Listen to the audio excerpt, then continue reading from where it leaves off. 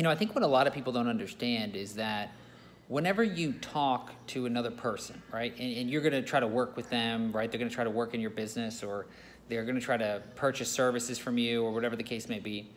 I, think people don't understand that if someone's going to give you money, that they they they sort of see the value in what you have to offer. That if they give you the money, that they would rather have whatever you have to offer than the money right? So that moment, that very moment when somebody decides to give you uh, the payment, that decides to purchase, decides to work with you, decides to pay, at that point in time, this, they're saying, yes, this is valuable.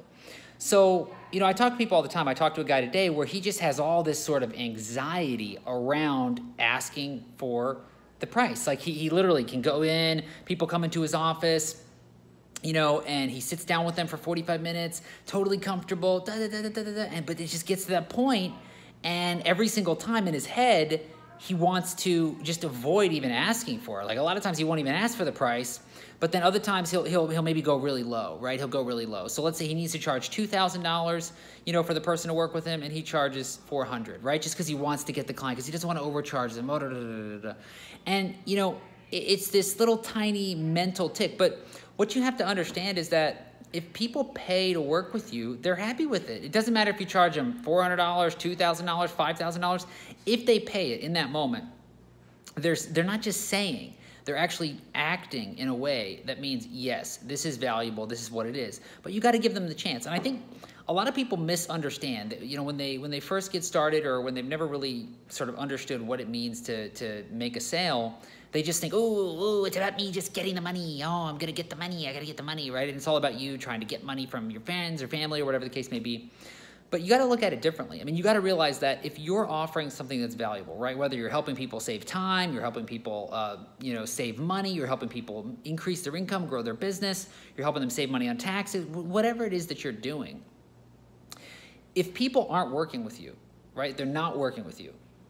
They're worse off than if they were working with you. So for example, this guy I was talking to today, he helps people save money on taxes. And he's thinking, oh, I don't know if I could go to these people and ask them for money. I'm like, dude, how long have you known these people? He's like, oh, three years. Well, if you would have asked them three years ago, how you know they would have saved you told me you could have saved them seven thousand dollars they lost twenty one thousand dollars because you're too scared to go over there and tell them you could help them save twenty one thousand dollars and so, you know, if you really care about these people, you owe it to them to get out there, get in front of them, get them to commit to working with you, get them to take the next step. If you believe that what you have to offer is valuable, then you owe it to these people. It's your obligation to go out there and start asking them to work with you. Don't keep it all cooped up inside. I mean, get out there and push it. And the more you believe in it, the harder you're going to push it. And so it's not about you making money, it's about you fundamentally helping the person. And people say, oh, but I can't take that much money off somebody. Look, if somebody pays it, they're happy to pay. They're happy to pay. I can't tell you how many people I know. I mean, I've got people that now, because we've got a business that's of a certain size, where there's people we pay thousands and thousands of dollars a month. We don't even talk to them. I haven't even talked to them in months. I had this one guy I was paying him $4,000 a month. I didn't talk to him for like six months. He was just doing his thing, doing his thing. I was happy to do it, right? So my point is that, you know, value is totally different, right? The value of a $2,000 payment, like this guy was talking about, for somebody that makes $40,000 a year and has a job, is completely different than a $2,000 payment for a business owner that does, you know, 2 million a year in sales on their restaurant, right? Or whatever the case may be, right? So don't mistake your own perception of price and think that you need to go and take from 2,000 to 400 because, oh, that's too much. Just make it higher. Make it higher, make it higher, make it higher. And when you got it high enough to where someone's like, that is ridiculous. I can't believe that you would even ask for that. Then you know you just got to come right below that, right? Right below that. Because prices, there's no real price. Prices are just, they're all over the place. They're, they're different for different people. They're different for different services. They're different for different times.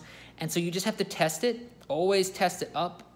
And if you fully believe that what you have is valuable to offer, you got to get out there and, and, and get people to buy it don't sit around and, and, and, hemorrhage on the price and, and, and be afraid to reach out to friends and family um, because every moment that you wait, these people are out there bleeding, these people are out there hurting. You owe it to them to get out there and get them to work with you.